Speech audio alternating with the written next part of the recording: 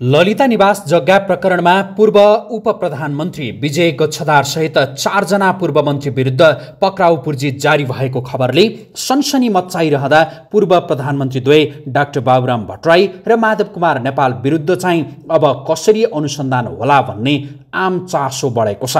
आइतबार मात्रै सर्वोच्च अदालतले पूर्व प्रधानमन्त्री द्वय डाक्टर बाबुराम भट्टराई र माधव कुमार नेपालमाथि पनि ललिता निवास जग्गा प्रकरणमा अनुसन्धान गर्ने सङ्केत सहितको आदेश जारी गरेपछि अब अनुसन्धान प्रक्रिया कसरी अघि बढ्ला भन्ने आम चासो बढेको हो।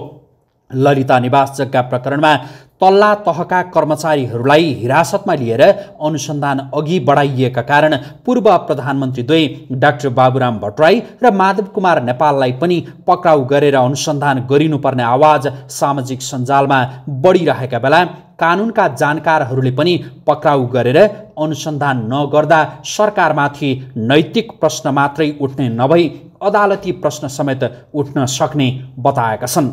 सर्वोच्चले नै अनुसन्धान गर्ने बाटो खोलिदिएको अवस्थामा पूर्व प्रधानमन्त्रीहरू भनेर अनुसन्धान अघि बढाइएन वा औपचारिकताका लागि मात्रै अनुसन्धान गरियो भने त्यसप्रति अदालतमै प्रश्न उठ्न सक्ने बताउँछन् अधिवक्ता स्वागत नेपाल। सर्वोच्चले अनुसन्धान गर्नु भनेको अवस्थामा पनि सरकारले आलटाल गर्ने हो भने प्रधानमन्त्री विरुद्ध नै अदालतमा अपहेलना मुद्दा दायर हुन सक्ने उनको भनाइ छ। बडा इन्ट्रेस्टिङ छ। अहिलेको मुलुकी अपराध संहिताको दफा उनान्सयले व्यवस्था गरेको छ। यो अलिकति त्यसमा त्यो एक सय एकसम्म पनि पुग्छ। यसको चाहिँ अभियोजन गर्दा अनुसन्धान गर्दाखेरि गर्नै पर्नेलाई नगर्दा जसले गरेन उसलाई के कारवाही हुन्छ भन्ने व्यवस्था छ। हेर्नु। त्यो अनुसन्धान अधिकृत अब खटाइसकेपछि अनुसन्धान गर्नुपर्ने प्रहरी कार्यालयले गरेन भने उहाँहरूलाई अदालतको अपहेलनाको मुद्दा लाग्छ र अहिले भर्खरै केही समय अगाडि मात्रै काठमाडौँ उपत्यकाको चाहिँ प्रहरी प्रमुख दानबहादुर कार्कीज्यू र यस पूर्व त्यहाँको जिम्मेवारी निकै वर्ष अगाडि लिनुभएको एकजना प्रहरी अधिकारी विरुद्ध पन्ध्र हजारको सायद जरिवाना अदालतले तोक्ने गरिकन कारवाही गरेको नतोकेमा पक्राउ गर्ने।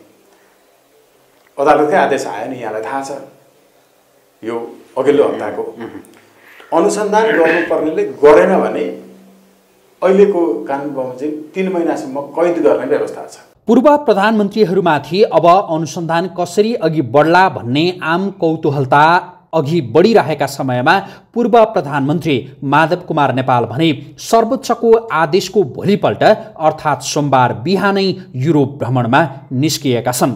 प्रवासी नेपाली एकता मञ्च युरोपले आयोजना गरेको कार्यक्रममा सहभागी हुन नेपाल सोमबार बिहान साढे सात बजे टर्किस एयरलाइन्सको विमानबाट जेनेभातर्फ उडेका हुन्।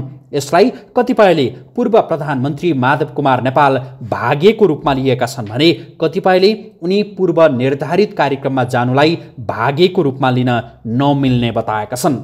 स्विट्जरल्यान्ड र लन्डनमा आयोजना गरेको कार्यक्रममा सहभागी हुन त्यसतर्फ लागेको भनिएका पूर्व प्रधानमन्त्री माधव कुमार नेपाल आगामी भदौ एक गते मात्रै स्वदेश फर्किने कार्यक्रम छ।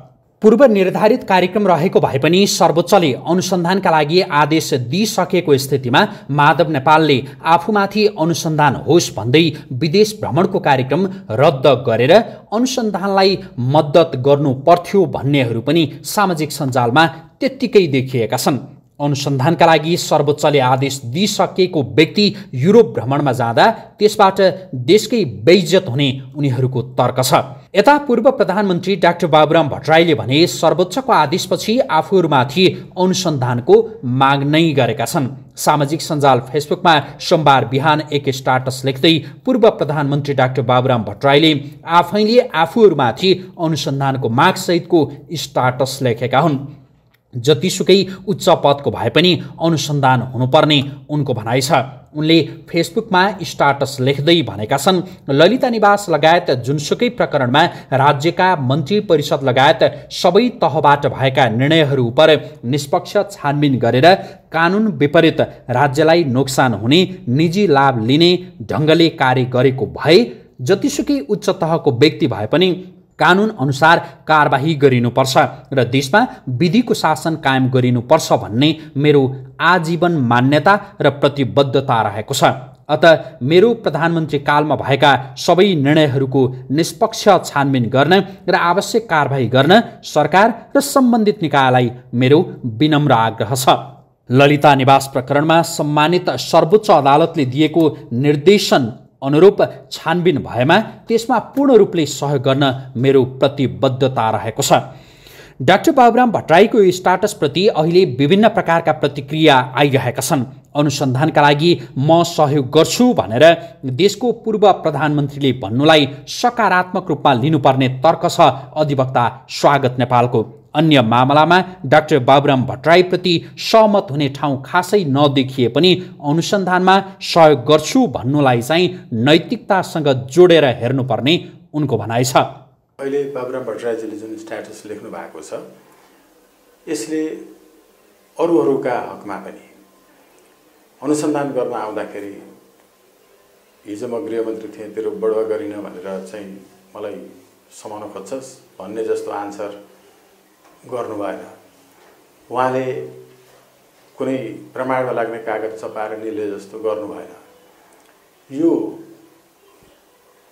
मुक्त कण्ठले उच्च प्रशंसा गर्दै खुलेर समर्थन गर्छु कि एकजना प्रधानमन्त्री जस्तो चाहिँ मर्यादाक्रममा रहेको व्यक्तिले अदालतले गरेको अनुसन्धान उहाँहरूलाई पनि हुनुपर्छ भन्ने आदेशलाई समर्थन गर्दै सबैमाथि हुनुपर्छ। म र मेरा सवालमा पनि अनुसन्धान होस् उहाँले जो भन्नुभयो स्ट्याटस लेखेर यसले नैतिकताकै प्रदर्शन गर्छ।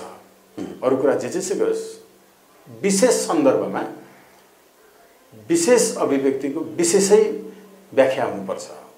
डाक्टर बाबुराम भट्टराईको स्टाटसका सन्दर्भमा अधिवक्ता स्वागत नेपालको तर्क यस्तो रहे पनि वरिष्ठ अधिवक्ता बालकृष्ण नेउपाने भने डाक्टर बाबुराम भट्टराईले यो मामलामा नौटङ्की गरेको बताउँछन्। जनताका नजरमा सदाचारी देखिन कम्युनिस्टहरू खप्पिस रहेको बताउँदै उनी भन्छन् डाक्टर बाबुराम भट्टराईको यो नौटङ्कीलाई म नैतिकता मान्दै मान्दिनँ।